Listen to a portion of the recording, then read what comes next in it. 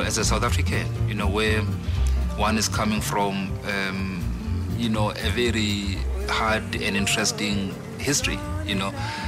Plastic is a very wonderful language to convey, you know, some of that message because I'm literally trying to say to fellow South Africans that you you can actually construct or build your life literally from nothing.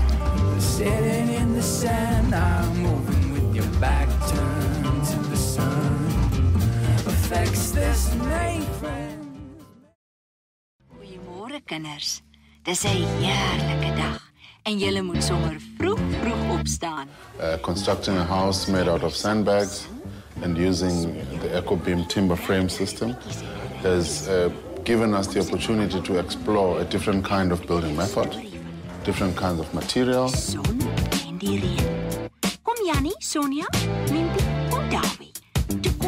But we, we are very happy that we, we are able to make a contribution, bringing in design into low-cost housing.